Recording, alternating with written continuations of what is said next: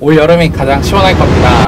요즘같이 무더운 여름 다들 선크림을 꼼꼼히 바르고 계신가요? 열심히 선크림을 발라도 높아지는 피부 온도는 어쩔 수 없더라고요. 요즘 날씨는 자외선, 적외선에 노출될 일이 많은데 피부 온도가 올라가면 무슨 일이 생길까요? 피부 탄력이 저하되고 주름이 생기거나 피 화상을 입는 등 노화 현상이 발생합니다. 그렇다면 피부 적정 온도는 몇 도인지 알아봐야겠죠? 피부 적정 온도는 31도지만 요즘 같은 여름철에는 햇빛을 15분만 받아도 얼굴 피부가 42도까지 올라간다고 합니다. 서울대 연구팀에 따르면 피부 세포에 42도의 열을 가하게 되면 콜라겐 등 탄력 섬유가 줄어 피부 노화가 가속화된다고 합니다. 그렇다면 실내는 안전하냐? 그것도 아닙니다. 전자기기나 백열등으로도 피부 온도를 높이기 때문입니다. 앞으로 피할 수 없는 여름으로부터 열노화를 억제하는 방법은 없을까? 바이오 스펙트럼에서 열노화를 막아줄 아민토를 개발했습니다.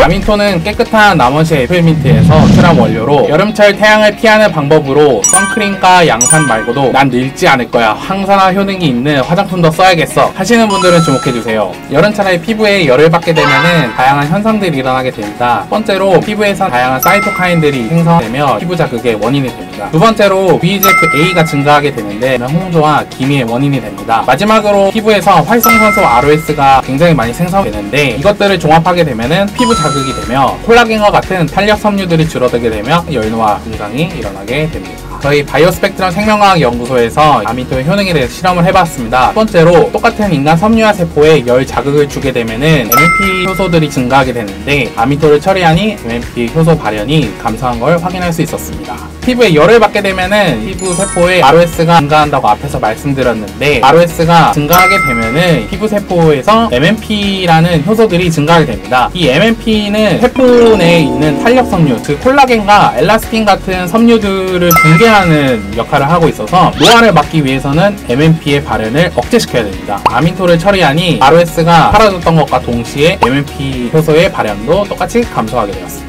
그 다음 저희 아민토의 두 번째 효능인 항산화 효소 발현 촉진에 대해 설명해 드리겠습니다. 항산화 효소가 발현되기 위해서는 다양한 전사인자의 활성화가 필요하는데 아민토의 경우 NRF2를 직접적으로 활성화를 시키는 효능을 갖고 있는데요. 항산화 효소가 발현되기 위해서는 다양한 방법이 있는데 NRF2라는 전사인자가 활성화가 되면 항산화 효소가 발현하게 됩니다. 전사인자는 핵에서 활성화됩니다. NRF2는 전사인자이기 때문에 핵 내부에서 활성화가 됩니다. 피부세포의 아민토를 처리하니 세포질에서는 NRF2의 수준이 변화 없었지만 핵 내부에서는 NRF 수준이 증가한 걸 확인할 수 있었습니다. 즉 이것은 NRF2의 활성화에 따른 다양한 항산화 효소의 발현이 촉진된다는 것을 볼 수 있습니다.